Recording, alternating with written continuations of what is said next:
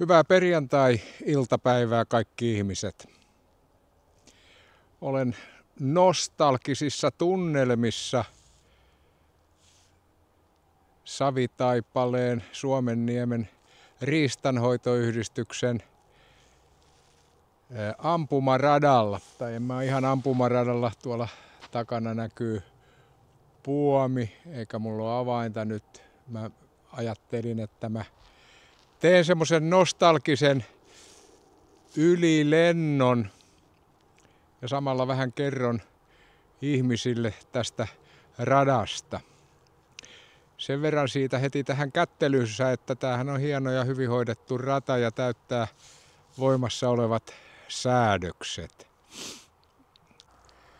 Itse asiassa sopii ihmetellä, kuinka paljon on löytynyt talkoohenkeä tämän radan ylläpitoon ja kehittämiseen jopa. Mulla ei ole mitään vastaan urheiluammuntaa. Mä olen itsekin sitä tehnyt jo nuorena miehenä lähinnä ilmapistoolin kanssa. Kävin neljä viisi kertaa jopa kansallisissa kilpailuissa, mutta siihen aikaan enemmänkin puhuttiin piirikunnallisesta kisoista ja sillä tasolla tuli joskus menestystäkin. Samoin sitten tällä piirikunnallisella tasoilla kilpailin vakiopistoolin kanssa. Täällä Savitaipaleella kuitenkin on ollut sitten oikeastaan ainoa ase mulla metsästyskivääri, siis puhutaan suomeksi hirvikivääri ja niin sanottu metsästysammunta. Siellä mä oon käynyt kilpailemassa sapassiammunnoissa ja voittanutkin ne 5-6 kertaa oman sarjani. Nyt tämä kaikki on takanapäin. Mä oon lopettanut ampumaurheilun, mutta myös nyt on menossa ensimmäinen vuosi, kun en enää metsästäkään. Mulla ei ole siihenkään mitään ideologisia syitä. Mua ei vaan yksinkertaisesti enää kiinnosta metsästäminen. Jos on oikein rehellinen, ehkä jonkunlainen vastapaino on mulla ollut tällä hetkellä käytävä keskustelu metsästyksestä.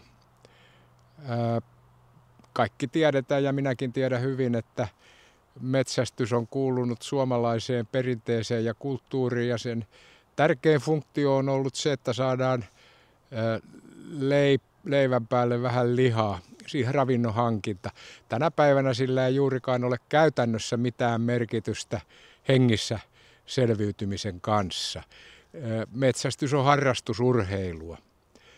Toki tiedän, että tässä kohtaa klippiä joku ajattelee, että herranen aika metsästyksellä on tärkeä osa niin sanotussa kannanhoidollisessa metsästyksessä – niin varmaan on, mutta mä halusin kaikille näille ihmisille sanoa sen, että me ihmiset olemme tämän ravintoketjun sekoittaneet. Yksinkertainen esimerkki on siitä, että hirvet ja peurat lisääntyvät niillä alueilla, missä ei ole niitä ravintonaan käyttäviä eläimiä, kuten susia riittävästi. Ö, siis kantojen väliset suhteet on ihminen osannut vääristää. Toinen asia, mikä minusta sitten on kyllä aivan naurettava, on se, että monet metsästäjät sanovat, että eihän koiraa voi päästää metsään, että tänäkin vuonna on varmaan sata koiraa sudet napanneet. Tässä nyt pitää kyllä ihmisiä muistuttaa, että suden elinaluetta on se metsä, ei koiran, ei edes metsästyskoiran. Ja ihminen aina ottaa riskin laittaessaan se sellaiselle alueelle, missä on susia. Ei susi koiraa piruuttaa nappaa, vaan ravinnokseen. Sama koskee sitten mua iljettää tämä ilvesten metsästys ja esimerkiksi mäyrien ja kettujen, kettujen metsästys. Ne on hyötyeläimiä, eli ei tässä niin kovia äijä nämä metsästäjät aina tänä päivänä ole.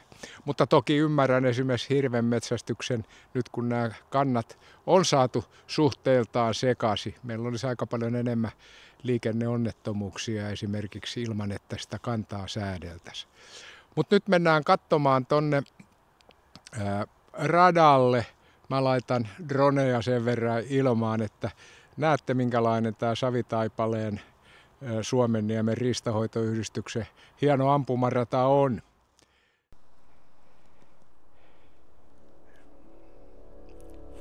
Edessä näkyy nyt ensimmäiset ampumaradan rakenteet.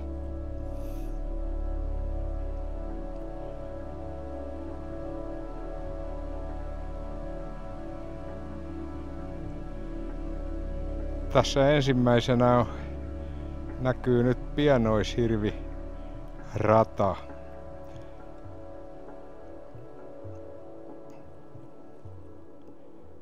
Tää on uusi rakennelma täällä.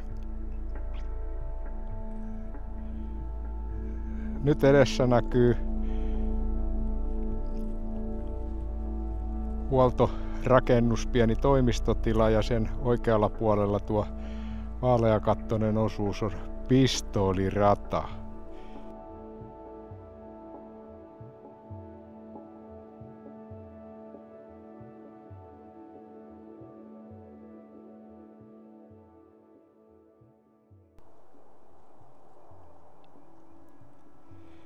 Ja tässä nyt näkyy sitten ampumaradan tärkein osa eli kiväärirata. Siinä on kiskolla liikuteltava ampumakoppi.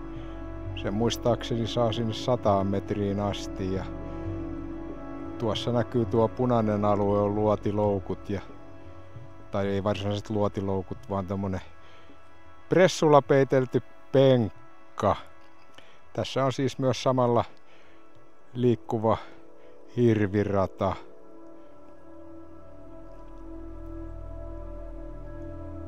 Tuossa pienoishirvikopin vieressä jäi vielä sanomatta, niin siinä on tuollainen pieni kalustovaja. Tässä siis pienoishirvirata. Multa on kysytty joskus näitä lupaehtoja, onko ne määräaikaisia tai tai miten, mutta mä en pysty siihen vastaamaan, koska mä en tiedä. Sen mä tiedän, että EUlta on tullut jonkun verran ohjeistusta ja sääntelyä on lisätty.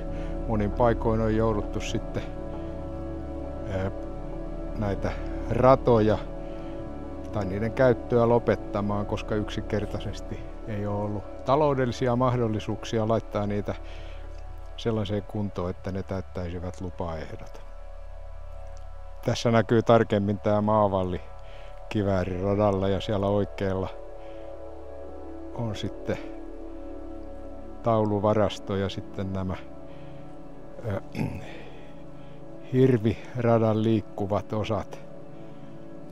Katsotaan tähän lopuksi vielä miltä tämä ilmasta näyttää korkeammalta kokonaisuutena. Kaiken kaikkiaan hieno ja hyvin hoidettu rata.